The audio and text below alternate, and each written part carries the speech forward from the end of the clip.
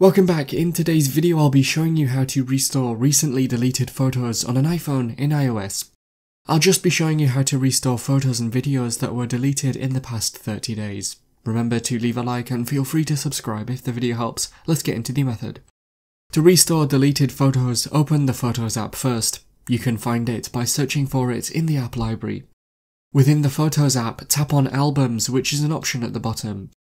Next, scroll down in here and then tap on the option called Recently Deleted. Scan your Face ID or input your password and now you should see your recently deleted photos and videos.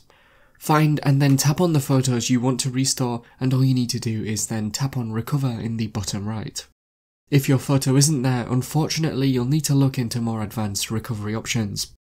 And so that is how to restore recently deleted photos on an iPhone in iOS.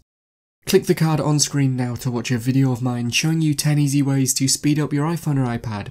If you have any questions, then let me know in the comments below and if you did find today's video helpful, remember to leave a like and feel free to subscribe for more tips in the future.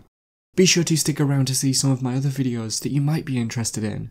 Thanks so much for watching and I will see you in another video.